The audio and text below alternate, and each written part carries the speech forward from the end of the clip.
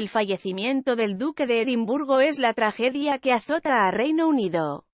La reina Isabel II está apesadumbrada luego de haber perdido a su compañero de toda la vida, a quien consideraba un pilar fundamental para su existencia. Los reyes Felipe y Leticia fueron de los primeros en enviar las condolencias.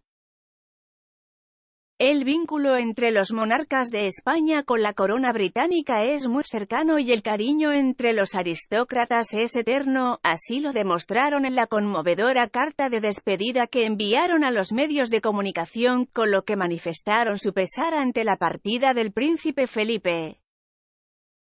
Querida tía Lilibet, hemos sentido una profunda tristeza al recibir la noticia del fallecimiento de nuestro querido tío Philip. En estos momentos dolorosos, queremos trasladaros nuestras más sentidas condolencias en nombre del gobierno y del pueblo español, así como también toda nuestra cercanía y apoyo. Nunca olvidaremos las ocasiones que pudimos compartir con él ni el legado de servicio y dedicación a la corona y al Reino Unido que siempre desempeñó a vuestro lado, evocaba el sentido mensaje dirigido a la madre del príncipe Carlos. Nuestros pensamientos y oraciones están con vuestra majestad y con toda la familia.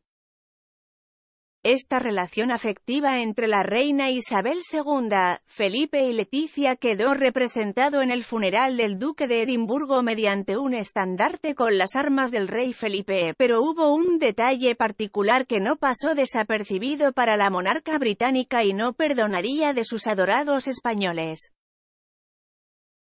Si bien ninguna de las casas reales europeas pudo dar el presente en el funeral, han brindado sus condolencias con imponentes coronas de flores y la ausencia de la que representara a la Casa Real Española encendió varias alarmas.